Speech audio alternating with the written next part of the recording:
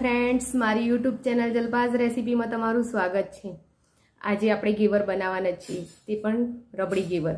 તો હજુ સુધી તમે મારી ચેનલને સબસ્ક્રાઇબ ના કરી હોય તો કરી લેજો અને બે લાઇકન તો જરૂરથી દબાવી દેજો, જેથી કરીને તમને મારા નવા નવા વિડીયોની નોટિફિકેશન મળતી રહે. અને હા, જો તમે મારી રેસીપીને ફોલો કરવાના હોય, તો તેનો એક એક સ્ટેપ ધ્યાનથી જોજો. પહેલાં તો રબડી ગેવર બનાવવા માટે આપણે રબડી બનાવી લઈશું. તો અહીં મેં ચાર લીટર દૂધ લીધું છે. તેને બરોબર ઉકાળી તેની આપણે રબડી તૈયાર કરીશું. તેમાં સવા સો ગ્રામ ખાંડ અને એક ચમચી ઇલાયચીનો ભૂકો નાખી દઈશું.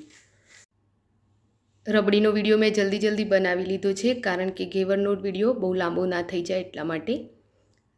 તો હવે આપણી રબડી તૈયાર થઈ ગઈ છે, તો તેને ગેસ પરથી ઉતારી લઈશું. બસ આપણે આવી જ રબડી રાખવાની છે. અને એક બાઉલમાં કાઢી લઈશું. ઘેવર માટે હવે એક તપેલીમાં ચાર ચમચી ઘી લઈ લઈશું. અહીં આપણે ઘીને ફેટવાનું છે. તો તેમાં આપણે આઈસ ક્યુબ એડ કરીશું.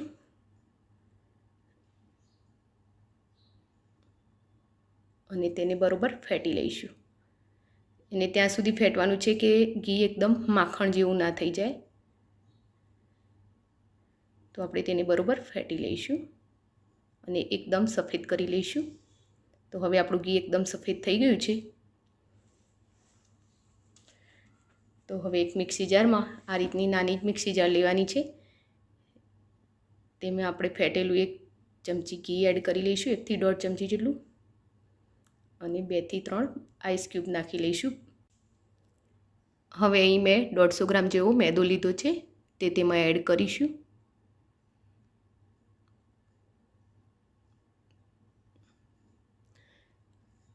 બધો મેદો એકસાથે એડ કરવાનું નથી. હવે આપણે તેમાં અડધા કપ જેટલું દૂધ એડ કરીશું અને તેને મિક્સી જારમાં ફેરવી લઈશું.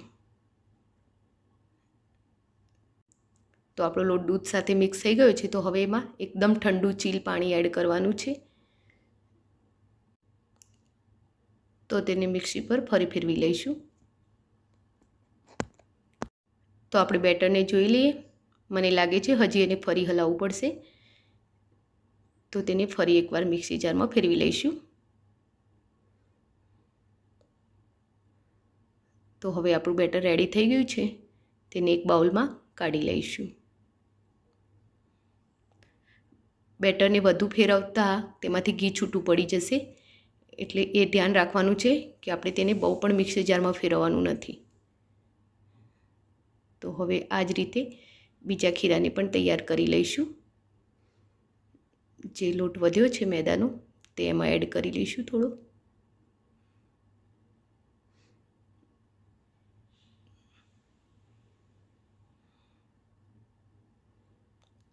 થોડું દૂધ હતું તે પણ એમાં એડ કરી લઈશું.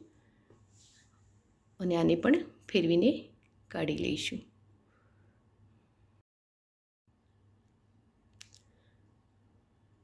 હવે તપેલીમાં જે બાકી બચ્યું છે, આઈસ ક્યુબ અને ઘી, તે બધું જ આપણે મિક્સી જારમાં કાઢી લઈશું અને જે મેદો બચ્યો છે તે પણ એમાં એડ કરી લઈશું અને એક ચમચી એમાં ચણાનો લોટ એડ કરીશું, એકથી દોઢ ચમચી જેટલો. હવે તેને પણ મિક્સી જારમાં ફેરવી લઈશું. તો હજુ તેમાં પાણી એડ કરી અને સાઈડોમાંથી બધી બાજુથી સરખું કરી અને તેને ફરી પાણી બીજું રેડીને મિક્સી જારમાં ફેરવી લેવાનું છે.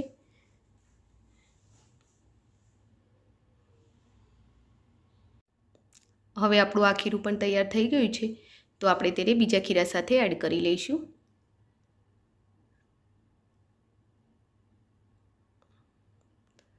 અને તેમાં પાણી ઉમેરી લઈશું.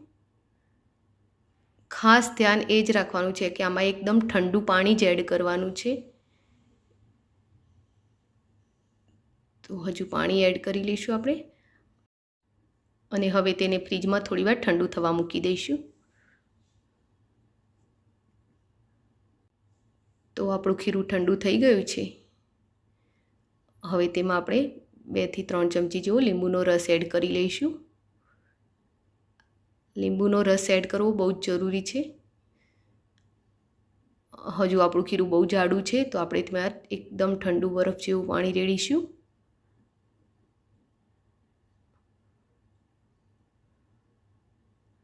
તો આપણા ખીરાને એકદમ આવું પાણી જેવું કરવાનું છે.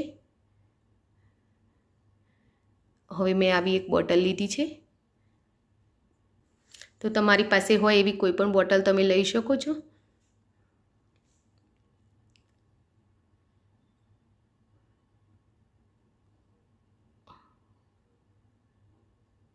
હવે તેના ઢાંકણને મેં આ રીતે કાણું પાડી લીધું છે. તો તેને એકદમ ફિટ વાખી દઈશું. જે બચેલું ખીરું છે તેને બરફમાં કે પછી ફ્રીજમાં મૂકી દઈશું.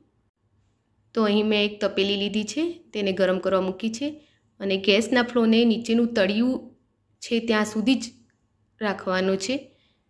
તેમાં બોટલથી આ રીતે સહેજ સહેજ ખીરું રેડતું જઈશું. ખીરું નાખતા જઈશું તેમ તેમાં ઉભરો આવતો જશે, પણ ઉભરો બેસી જાય ત્યાં સુધી આપણે તેમાં બીજું ખીરું એડ નથી કરવાનું.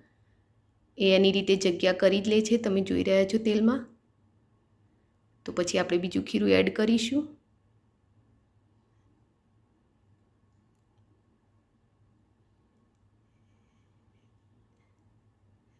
બસ આ જ રીતે સહેજ સહેજ ખીરું એડ કરતું જવાનું છે. અને જ્યારે જગ્યા ના થાય ત્યારે આપણે આ રીતે તેને વેલણથી જગ્યા વચ્ચે વચ્ચે કરતા રહીશું અને તેમાં ખીરું એડ કરીશું.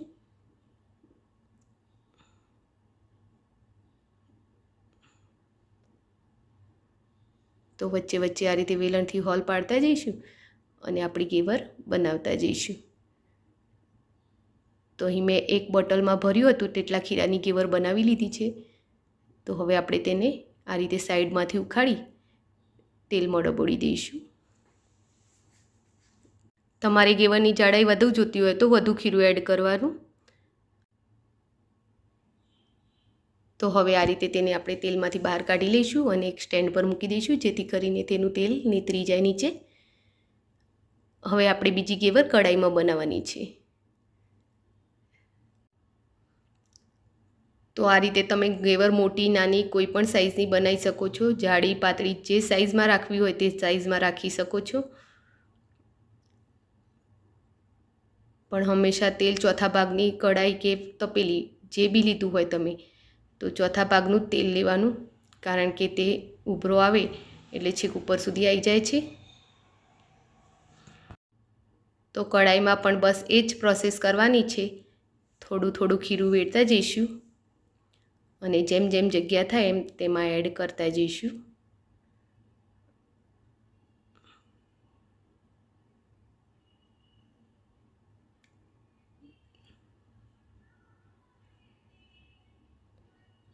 તો આ રીતે થોડી થોડી વારે આપણે ઉપરો નીચે બેસે એમ ખીરું એડ કરતા જઈશું. તો આપણા ગેવરમાં વચ્ચે હવે હોલની જગ્યા નાની થતી જાય છે તો આપણે તેમાં બોટલથી ધાર કરીશું.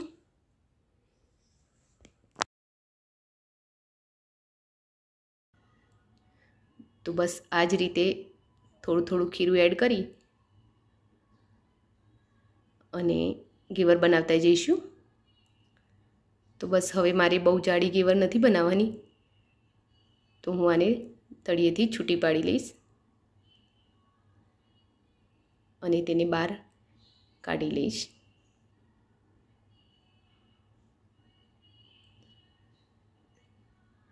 મારે લાલ જ ગેવર બનાવવી છે, કારણ કે મારે રબડી કે સાથે ગેવરને ખાવાની છે. જો સફેદ ગેવર હોય તો એકદમ ઢીલી થઈ જાય છે. હવે આ ત્રીજી ગેવર આપણે પવાલીમાં બનાવીએ છીએ. સૌથી સારી તો એ રહેશે કે આ ઊંડું વાસણ હોય તેમાં ગેવર બનાવવાની વધારે મજા આવે છે. તમે જોઈ શકો છો કે ખીરું નાખતાની સાથે કેટલો ઉભરો આવે છે.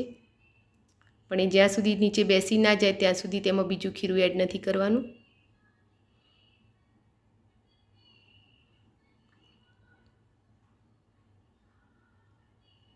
તો બસ આ રીતે ઉભરો બેસે એટલે બીજું ખીરું એડ કરીશું.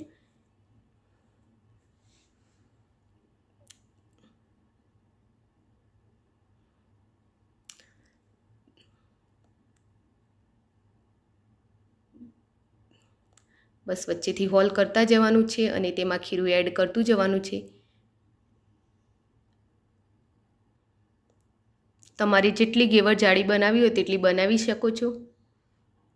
પણ ધ્યાન એ રાખવાનું છે કે તમે જે વાસણ લીધું છે તેના તળિયા કરતાં વધારે ગેસનો ફ્લો નથી રાખવાનો.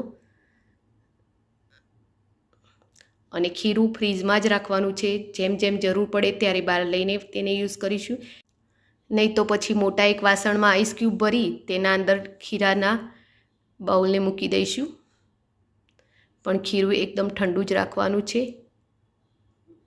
તો હવે આપણે ગેવર તૈયાર કરી લીધી છે તો તેને થોડીવાર તેલમાં ડુબાડી અને બહાર કાઢી લઈશું જેથી કરીને ઉપર બી સરખી થઈ જાય. અને આ જ રીતે બીજી ગેવર પણ તૈયાર કરી લઈશું. હવે આપણે ચાસણી માટે એક તપેલી મૂકી છે તેમાં અઢીસો ગ્રામ ખાંડ એડ કરી લઈશું.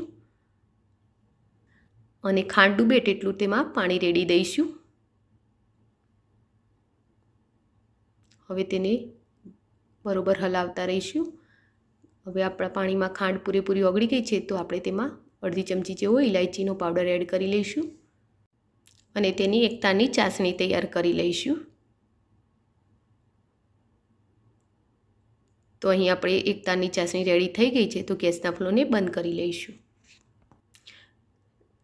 તો આપણે જે દોઢસો ગ્રામ મેદો લીધો હતો તેમાંથી જે ગેવર તૈયાર કર્યા છે તે તો હું તમને બતાવી દઉં. તો આપણે આ કડાઈમાં ગેવર તૈયાર કર્યું હતું, તે છે. આ તપેલીમાં જે ગેવર તૈયાર કર્યું હતું એ છે. અને આપણે જે પવાલીમાં તૈયાર કર્યા હતા એ આ ત્રણ ગેવર છે. તો આની થિકનેસ તમે જોઈ શકો છો અને તેની જાળી પણ છેક સુધી દેખાય છે તમને.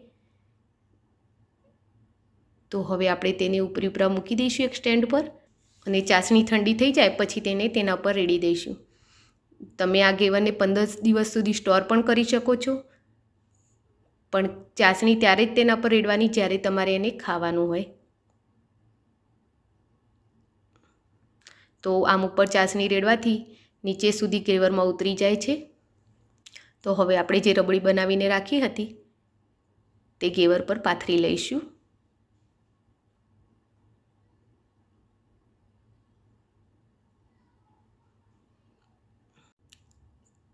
તો આ જ રીતે તેને આખા ઘેવર પર પાથરી લઈશું અને આપણે પિસ્તા અને ગુલાબની પાંદડીઓથી તેને ડેકોરેટ કરવાના છીએ. તો આપણે પિસ્તા અને ગુલાબની પાંદડીઓ તેના પર લગાવી લઈશું.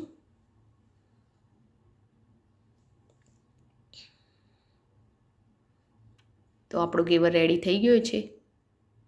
તો એ જ રીતે બીજા ઘેવરને પણ આપણે રેડી કરી લઈશું. ખાંડની ચાસણી નીચે તો ઉતરી જ છે, પણ આપણે જરૂર હોય તો લગાવી લઈશું. તો રબડી પાથરી તેના પર બીજો આનીથી નાની સાઇઝનો ઘેવર મૂકી દઈશું. અને તેના પર પણ રબડી પાથરી લઈશું. હવે જે આપણે પહેલાં બનાવ્યો હતો તે ઘેવર પણ એના ઉપર મૂકી દઈશું. તો આમ આપણે ત્રણેય ઘેવર અલગ અલગ સાઇઝ અને અલગ અલગ જાડાઈના બનાવ્યા છીએ. જો તમને આ રેસીપી ગમી હોય તો વિડીયોને લાઇક કરજો શેર કરજો અને હા કોમેન્ટ બોક્સમાં જરૂરથી લખજો કે તમને આ રેસીપી કેવી લાગી.